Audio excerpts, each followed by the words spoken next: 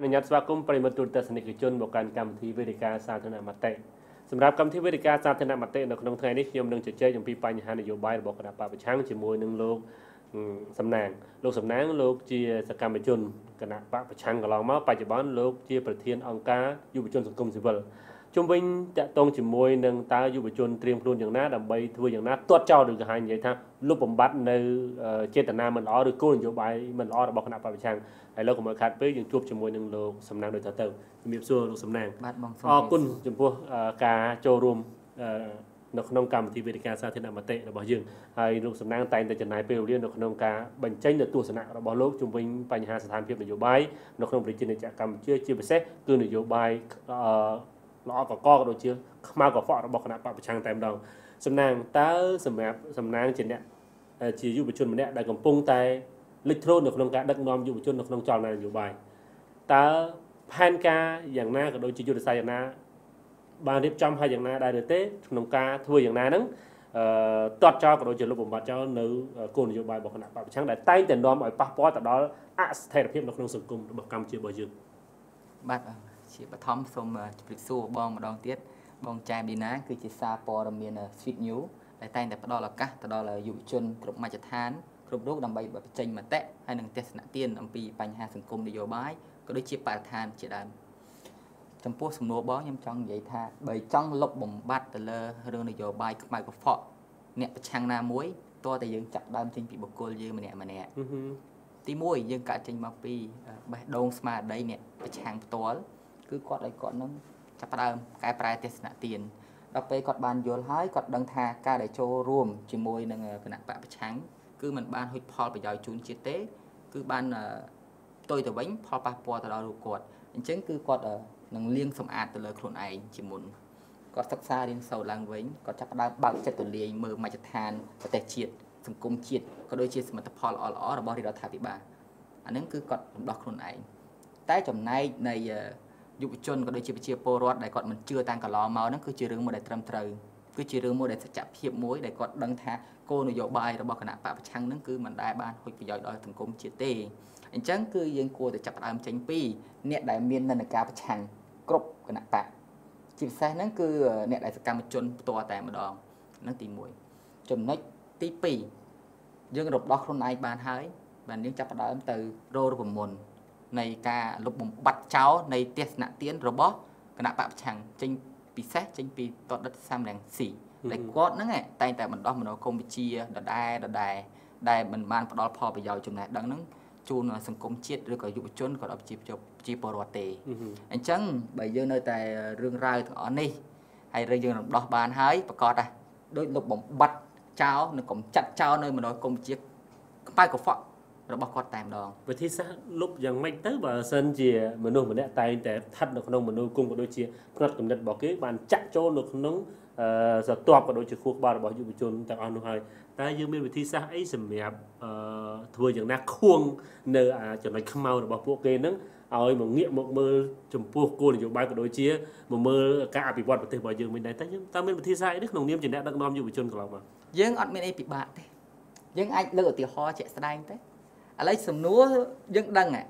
តែរាប់សិបឆ្នាំមកនេះគោលនយោបាយរបស់គាត់ដែលគាត់ដឹកនាំគណៈបកប្រឆាំងហ្នឹងគឺបង្កើតបញ្ហាឲ្យគេខ្លះបង្កើតគ្រប់ទម្រង់បង្កើតរឿងរ៉ាវនានាអញ្ចឹងរោតែឲ្យរីកចម្រើនអត់មានក្នុងគណៈបកគាត់ក៏អត់រីកចម្រើន គឺថយរហូតឃើញទេគឺទាំងតែគឺស្ទើរតែបាត់បង់ឥឡូវបាត់បង់ទាំងគណៈបកមួយធំហើយបាត់បង់ទាំងប្រជាប្រិយភាពក៏ដូចជាការបាត់បង់នៅសេចក្តីទុកចិត្តពីសកម្មជនរបស់គាត់ រឿងរ៉ាវដែលយើងថាយុទ្ធសាស្ត្រដែលយើងចង់លុបបំបត្តិហ្នឹងគឺអត់មានន័យពិបាកទេគឺយើងត្រូវតែយើងយល់ដឹងអំពីគេហៅឫសគល់នៃបញ្ហារបស់គាត់ចេញពីចិត្តរបស់គាត់គាត់តែងតែបំផុសរឿងមួយឃើញទេតើសំណួរហ្នឹងរឿងហ្នឹងការប៉ັດអត់ហើយវាអញ្ចឹងមែនអត់គាត់លើកឡើងអំពីរឿងអំពើអយុត្តិធម៌អំពើរំលោភសិទ្ធិមនុស្សអំពើគេហៅអំពើពុករលួយឡើងឡើងអញ្ចឹងការកកើតនោះគឺគាត់មិនដែលបានរកយន្តការនៃការដោះស្រាយទេតែទៅជាបង្កើតនៃបញ្ហា អញ្ចឹងតើយើងជឿយ៉ាងម៉េចទៀតហើយយើងត្រូវតែដឹងថាចំណុចខ្សោយរបស់គណៈបកប្រឆាំងនឹងគឺអីគេអំពើពុករលួយអំពើអយុត្តិធម៌បពុនិយមអានឹងហើយដែលជារឿងរបស់គាត់ហិង្សាសកម្មភាពហិង្សាពាក្យសម្ដីហិង្សាកាយវិការដែលគាត់តែងតែបផុសហើយឥឡូវយើងសួរថាតើបើគាត់មិនធ្វើអញ្ចឹងទៀតហ្នឹងមានណាគេជឿចឹងឬកូននៃបញ្ហាហ្នឹងគឺអត់មានតែថាម្បាក់ដោះស្រាយទេដោយសារតែយុវជនឬក៏ប្រជាពលរដ្ឋខ្មែរហ្នឹងគាត់បានដឹងអំពីធៀបផ្សំថា ដើម្បីឲ្យរីកចម្រើនសង្គមបានគឺយើងចាប់ផ្ដើមចូលរួមជាមួយនឹងរដ្ឋាភិបាលចូលរួមបាទបាទសូមបញ្ជាក់សំណាងបន្តិចជុំវិញបញ្ហានៃការចង់លុបបំបត្តិក៏ដូចជាការកាត់ផ្ដាច់អំពីគោលនយោបាយរបស់គណៈបព្វប្រឆាំងក្រមប្រឆាំងតែម្ដងយ៉ាងចេះតើហេតុអីបានជាក្រមសំណាងក៏ដូចជាសំណាងក្នុងនាមជាប្រធានយុវជនហ្នឹងគឺចូលរួមក៏ដូចជារៀបចំផែនការបែបហ្នឹងបាទ ដោយសារតែយើងឃើញហើយសង្គមពេលបច្ចុប្បន្ននេះយើងឃើញគាត់បាត់បង់ជាប្រិយភាពគាត់បាត់បង់គណៈបកមួយចំនួនហើយសូម្បីតែគាត់មិនបានចូលក្នុងប្រទេសទៅទៀតអញ្ចឹងប៉ុន្តែយ៉ាងណាមិញគាត់នៅតែប្រផុសតាមសង្គម Facebook ឬក៏ social media ផ្សេងផ្សេងនិយាយអំពីរឿងរ៉ាវអង្គើអយុធធម៌មួយអង្គើរំលោភសិទ្ធិមនុស្សបពុនិយមចោលរដ្ឋាភិបាលឡើងកន្លះអញ្ចឹងវាគឺជាកត្តាដើមចំ ដែលដោះពីមួយបន្តិចបន្តិចបន្តិចគាត់ចាប់ដើមប្រផុសទៀតដែរគេចាប់ដើមលុបបំបត្តិនយោបាយគាត់គាត់ចាប់ដើមបង្កើតហើយបើយើងមិនចូលរួមក្នុងនាមយើងជាយុវជនមួយដែរហើយនឹងបពពួកក្រមយុវជនដែរបើយើងមិនទប់ស្កាត់ទេអញ្ចឹងវាកើតមកផុសទៀតវាអាចវាអាចរីកធំឡើងដែរឥឡូវហ្នឹងគឺរដ្ឋាភិបាលក៏ដោយក៏គេដឹងដែរគឺគោលនយោបាយរបស់គណៈបពប្រឆាំងហ្នឹងគឺអត់បានផ្ដល់ថាផលចំណេញអីមួយទេអញ្ចឹងយើងឲ្យតែគិតថាគាត់ចាប់ដើមដោះយើងចាប់ដើមចូលរួមកិច្ចកា ត់ត្រួយកុំឲ្យកើតមានឡើងដោយសារតែយើងដឹងហើយឮហើយថារឿងរ៉ាវទាំងអស់នេះវាអាចផលប៉ះពាល់អ្នកដែលដើរតាមហ្នឹងគឺខ្លួនឯងក្រុមគ្រួសារឬក៏បពពួកសកម្មជនប្រឆាំង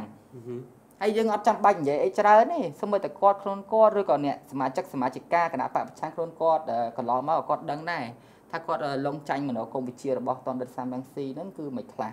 ហើយបដ ாய் បច្ចុប្បន្ននេះគឺ ឃើញយើងឃើញសារព័ត៌មានមួយចំនួនធំគឺគាត់បានផ្សាយ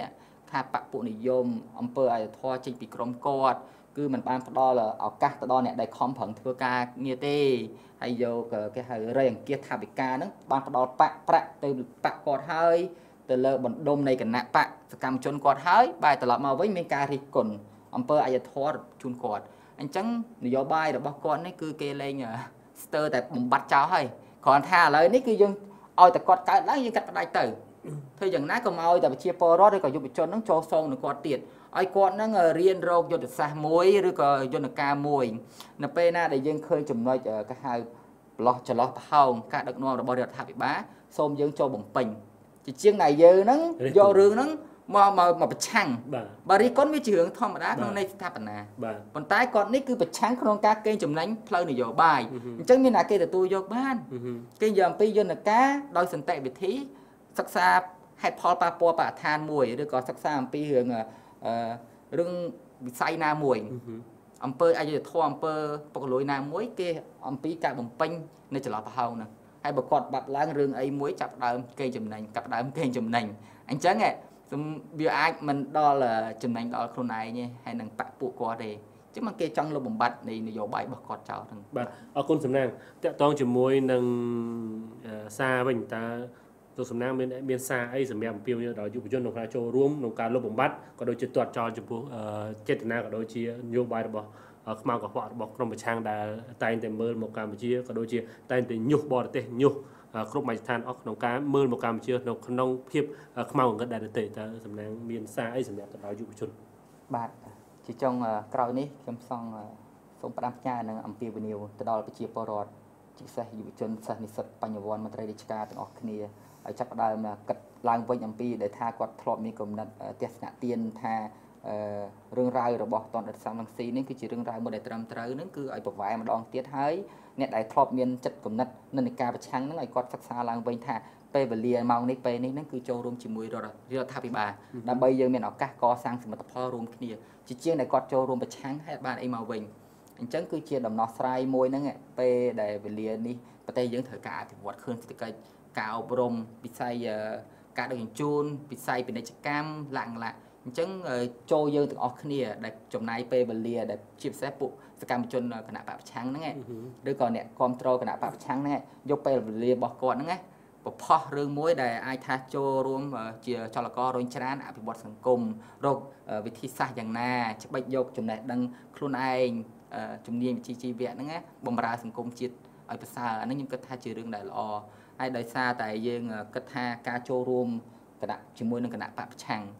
ហើយនឹងការរិះគន់ទៅលើអ្វីមួយដែលมันហុចផលឲ្យសង្គមជាតិហ្នឹងគឺគេអត់ទទួលយកបានទេទាំងគេទាំងយើងអញ្ចឹងក៏ជាពិសេសក៏យើងចង់ឆ្លិចទៅយករឿងនេះឲ្យពួកដែលគាត់ធ្លាប់តែមានសមាជិកសមាជិកាដែលគាត់ចេញមកពីគណៈបពប្រឆាំងហ្នឹងគឺគាត់ចូលរួមជាមួយរដ្ឋាភិបាលដោយថាកុំឲ្យខ្លាចចិត្តពីព្រោះទំហំនៃការចូលរួមនៃការបើកឱកាសពីសម្ដេចអគ្គមហាសេនាបតីតេជោហ៊ុនសែនហ្នឹងគាត់តែងតែទទួលយកទាំងអស់គាត់បានប្រកាសឲ្យម្ដងហើយម្ដងទៀតថា ចូលរួមជាមួយនឹងរដ្ឋាភិបាលគឺគាត់លើកលែងអភ័យទោសអត់ប្រកាន់ពីអតីតកាលរិះគន់ជេររហូតដល់ថ្នាក់ប្រមាថគាត់ទេករណីខ្លះឃើញទេមេដឹកនាំមួយដែលអត់ធ្មត់បានច្រើនហើយគឺដែលអាចផ្ដល់ឱកាសទៅឲ្យអ្នកដែលធ្លាប់ប្រឆាំងទៅទៀតវាគឺជាសេចក្តីមេត្តាមួយយើងឃើញក្រមយុវជនមក បច្ចុប្បន្ននេះប្រផលបំផលមកគឺបន្តបន្តបន្តបន្តហ្នឹងឃើញចូលរួមហ៎ហើយទាំងសមាជិកសមាជិការបស់គណៈបកប្រឆាំងទៀតសោតហ្នឹងគឺគាត់ចូលរួមជាមួយនឹងរដ្ឋាភិបាលអានេះដោយសារតែអីគេការដឹកនាំប្រកបដោយកតេបណ្ឌិតហើយនឹងព្រមវិហារធម៌របស់ថ្នាក់ដឹកនាំរបស់យើងអញ្ចឹងគឺទម្លាប់ទលំទលាយហើយផ្ទុយទៅមួយទៀតដែលគេថាការចូលរួមជាមួយរដ្ឋាភិបាលហ្នឹងអត់មានឱកាសអភិវឌ្ឍខ្ញុំគិតថាអញ្ចេះ ឲ្យលោកពិចារណាអ្នកដែលមានទស្សនៈទានជាសេះសារព័ត៌មានមួយចំនួនហ្នឹងឲ្យគាត់ដឹងថាគុំដោយសារតែការឆ្កឹះឆ្កៀលពីតនដិតសំរងស៊ីហ្នឹងយកអារឿងហេតុផលទាំងអស់ហ្នឹងមកវាយប្រហាររដ្ឋាភិបាលហើយធ្វើឲ្យឲ្យអ្នកដែលចង់ចូលរួមហ្នឹងគឺគាត់ខ្លាចផ្ទុយទៅវិញការពិតការចូលរួមហ្នឹងគឺយើងមានឱកាសច្រើនណាយើងឃើញទេពេលបច្ចុប្បន្ននេះសម្បីតែសកម្មជនបរិស្ថានដែលគាត់ធ្លាប់តែប្រឆាំងគាត់បានចូលរួមនៃការអភិវឌ្ឍដែរ ហើយកន្លងមកហ្នឹងគឺតនដិតសាមទាំងស៊ីឬគណៈបពប្រឆាំងហ្នឹងយករឿងបរិស្ថានរឿងសិទ្ធិមនុស្សហ្នឹងគឺធ្វើជាឈ្នន់នយោបាយចឹងឥឡូវគេលែងគេលែងចូលរួមមួយគាត់ទៀតគេលែងធ្វើសកម្មភាពដើម្បីផ្ដល់ផលប្រយោជន៍ជូនគាត់ទៀតហើយពីមុនខ្ញុំអាចនិយាយបានថាទាំងក្រុម NGO ទាំងក្រមយុវជនសង្គមស៊ីវិលធ្លាប់ធ្វើកិច្ចការងារប្រឆាំងហ្នឹងគឺហុចប្រយោជន៍ឲ្យទៅដល់និន្នាការប្រឆាំងដល់ពេលគាត់បានដឹងខ្លួនគាត់បានត្រឡប់មកវិញថាអូធ្វើអត់ចំណេញ ប្រឆាំងគេអត់ចំណេញប្រឆាំងរដ្ឋាភិបាលអត់បានអីមកវិញស៊ូត្រឡប់ចូលរួមទៅជាទំហំអានៃការចូលរួមហ្នឹងវាបានចូលរួមអភិវឌ្ឍជាតិពិតប្រាកដហើយដោយសន្តិវិធីហើយស្របច្បាប់ហើយទៅជាមានការលើកទឹកចិត្តទៀតដូចខ្ញុំបានលើកការខាងមុនក៏ដូចគ្នាដែរគម្រោងនៃរដ្ឋាភិបាលគម្រោងនៃក្រសួងនីមួយៗហ្នឹងគឺតែងតែផ្ដល់ឱកាសអញ្ចឹងដើម្បីអាចលុបបំបាត់នៃមនោគមវិជ្ជាទាំងអស់ហ្នឹងបានឲ្យគាត់នឹងរបស់ខ្លួនឯងហើយចាប់ដើមចូលរួមជាមួយរដ្ឋាភិបាលដឹងថាទំហំនៃការបាន ចូលរួមអភិវឌ្ឍជាតិហ្នឹងយ៉ាងម៉េចអញ្ចឹងវិធីសាស្ត្រដែលយើងអាចចង់លុបបំបាត់នយោបាយរបស់តនដិតសាមទាំងស៊ីឬក៏គណៈបកប្រឆាំងហ្នឹងគឺការចូលរួមធ្វើកិច្ចការងារជាមួយនឹងរដ្ឋាភិបាលឬក៏គណៈបកប្រជាជនទៅគាត់នឹងដឹងថាទំហំនៃការគាត់ជួយរកអភិវឌ្ឍជាតិហ្នឹងយ៉ាងម៉េចបាទអរគុណប្រិមត្តទូទស្សនិកជនក៏ដូចជាអរគុណសំណាងដែលបានលើកឡើងអំពីយុទ្ធនាការក៏ដូចជាយុទ្ធសាស្ត្ររបស់ខ្លួនដូចជា គឺតាក់ទងជាមួយនឹងក្រមយុវជនរបស់ខ្លួននៅក្នុងការចូលរួមធ្វើយ៉ាងណាហ្នឹងទីមួយគឺលុបបំបាត់អំពីភាពមិនប្រក្រតីរបស់ក្រមប្រឆាំងហើយជាពិសេសគឺតាក់ទងជាមួយនឹងចេតនាមិនល្អរបស់ក្រមប្រឆាំងតែម្ដងអរគុណប្រិមិត្តទូរទស្សនិកជនដែលតាមដានទស្សនាកម្មវិធីវេទិកាសាធារណមតិខណៈពេលនេះខ្ញុំបាទចាមឌីណារួមជាមួយនឹងលោកសំណាងសូមអរគុណសូមគោរពលា